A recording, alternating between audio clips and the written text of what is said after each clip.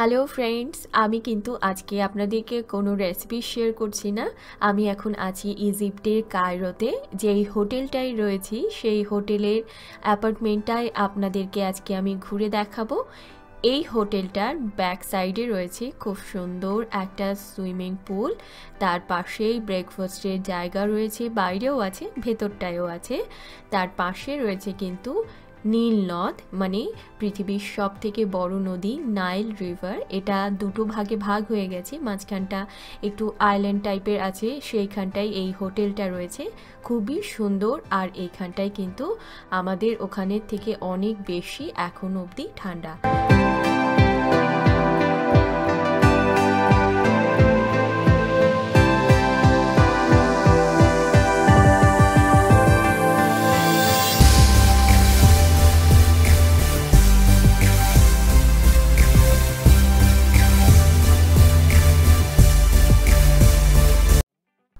এবারে চলুন হোটেলের ভেতরটা দেখাচ্ছি। এটা হচ্ছে ব্রেকফাস্টের ওই জায়গাটার থেকে বেরিয়েই এখান দিয়ে হয়েই যেতে হবে আমাদের অ্যাপার্টমেন্টটা এটা হচ্ছে রিসেপশন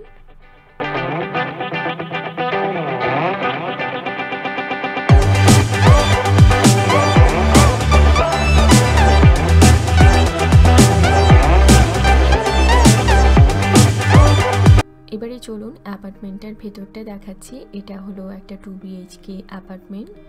এখানে প্রথমে ঢুকেই রয়েছে ডাইনিং টেবিল, যেখানে আমরা বসে খাওয়া দাওয়া করি। তার পাশে রয়েছে সুন্দর একটা বসার জায়গা।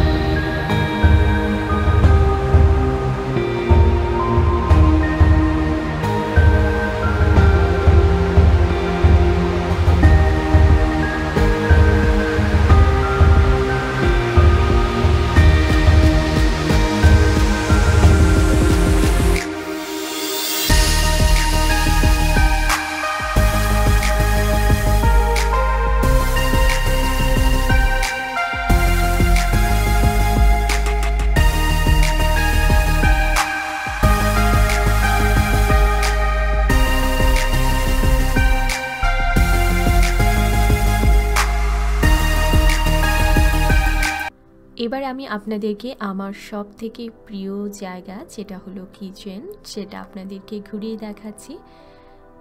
তো ওরা কিচেনে অনেক কিছু দিয়েছে মোটামুটি। এখানে একটা রয়েছে ইলেকট্রিক কেটলি একটা মাইক্রোওভেন এখানটায় ওয়াশিং মেশিন রয়েছে, একটা বড় ফ্রিজ আর রান্নার জন্য কিন্তু ওরা খুবই অল্প, সবে তিনখানা বাসন দিয়েছে রান্না করার জন্য, যেটাতে খুবই অসুবিধা হচ্ছে। কেননা আমরা একটু বেশি বাসনে অভ্যস্ত রান্না করে, ওই জন্য একটু অসুবিধা হচ্ছে। এমনি মোটামুটি ঠিক আছে, এখানে যে হাউসকিপিং সে সমস্ত বাসন ধুয়ে গেছে।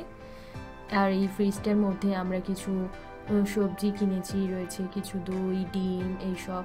সমস্ত রয়েছে ফ্রিজে তো এইখানটায় যেই চাল রয়েছে, আমরা কিছু গ্রসারি আমরা নিয়ে এসেছি কলকাতা থেকে, আর কিছু জিনিস এখান থেকেও কিনেছি। সমস্ত এখানে আমি সুন্দরভাবে রেখেছি, গুছিয়ে। এইখানটা একটা বড় বাথরুম রয়েছে, আরও একটা ছোট্ট বাথরুম ছিল, যেটা দেখানো হয়নি। এখানে একটা বড় বাথরুম রয়েছে রয়েছে বাথটাব এবার আমি আপনাদেরকে বেডরুম দুটো দেখাচ্ছি। সবার প্রথমে আমি দেখাচ্ছি ছোট্ট একটা বেডরুমটা যেটা এখানটায় রয়েছে। খুব সুন্দরভাবে একদম সাজানো, গোছানো, একটু আলো বেশি বলে খুব একটা ভালোভাবে বোঝা যাচ্ছে না জন্য আমি খুবই দুঃখিত। দেখুন, এই দিকটায় রয়েছে কিন্তু আমার ল্যাপটপ আর এখানে বসে আমি এডিট করি আর রেকর্ড করি।